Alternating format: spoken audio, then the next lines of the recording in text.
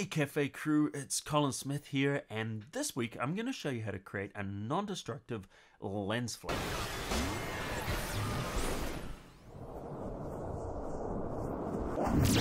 So we're going to add a little bit of life and drama to this photograph and really just give it a flavor. So let's add the lens flare. Now one of the things to be aware of when you're applying a lens flare directly onto the layer is a destructive effect. But if you create a new layer, you can't apply it. So let me show you some of the things that could happen. If we can choose filter lens flare, notice it won't apply it because there's nothing in there.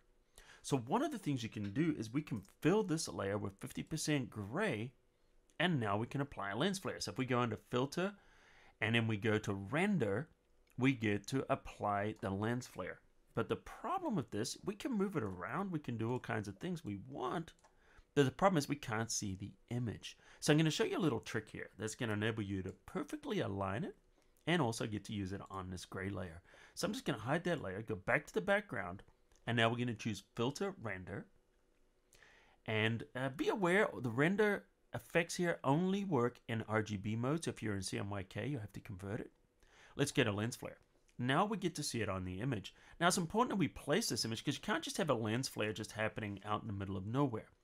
It either has to be coming directly from a light source, such as directly from the sun itself, or it can be reflecting off the glass, which works fine. If you've ever sat at a coffee shop before a car pulls up and then you get that light just glaring right in your eyes, you know what I mean. All right, so let's get it dropping in there. So this is the standard lens flare that everybody uses is the 50 to 300 and then it just creates this kind of an effect. But what I'm going to do in this case, we're not going to do that. We're going to try a different one. I'm going to try the 105 prime here. And notice it just looks a little different than the lens flare you're used to seeing. Now you can turn the brightness up really bright or turn it down. Let's get it up to about, I'm kind of liking it about there. So now I'm going to click OK. Now, we've applied our lens flare, but the problem is, notice it's destructive. That means it's merged into that layer. So what we're going to do is we're going to hit Control Z to undo it. Now we're going to turn on our gray layer and we're going to change it to hard light. And then what that does is it creates invisible because hard light's not going to show gray. But now we're going to apply the filter, but we want to apply it exactly the same place we did it before. Now, if we can do that, if we hit Control F or Command F on Mac, that will repeat the last filter, and boom. Notice now we have our lens flare in exactly the same location. And by the way, you can also go up under Filter here and choose Lens Flare. And but the difference is I can turn it on or off. So we have exactly the same lens flare, but we can move it around and we can do different things with it. So I'm just going to put it back to where it was. We can play around with the opacity because now we've got a little bit more flexibility and that lens flare. We can also try different blend modes, such as maybe a linear light, which will really blow it out, or we could go down to just an overlay, and that'll make it a lot more subtle. I'm going to go back to our hard light, because I kind of like how that looks. And I'm just going to drop it down just ever so much. So here we go. We've got our light hitting here and kind of reflecting off. Now, what we want to do just to give it a little bit of flavor is we're going to give it some color. So like that sunlight is just kind of coming in with this nice kind of beam. So we're going to create a brand new layer that goes on the top.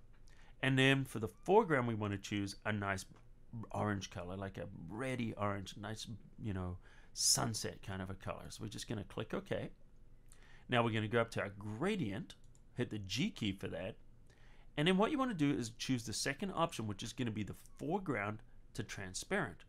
Make sure it's set to linear and also make sure you've got transparency turned on. Now all we're going to do is we're just going to click from the top here and just drag it out like that. Now we change the blend mode here to something different. We could have a look at maybe overlay there. Or we could try a soft light and just look at the difference there. See that? So just giving it that nice kind of a color. The overlay will make it a little bit stronger. But I kind of like the soft light. You can play around with some different blending modes too. The um, linear light can, you know, once again look pretty harsh. Uh, but you can play around with the different modes. So I'm just going to put this one back into overlay and if we look at what we did, there's the picture before and there's the picture after adding that lens flare and that nice kind of sunset atmospheric effect. So I hope you enjoyed this. If you did, don't forget to become part of the Cafe crew by hitting that subscribe button right now, and you'll get a new tutorial every single week. So thanks, guys. Add a comment, add a like, and until next week, I'll see you at the cafe.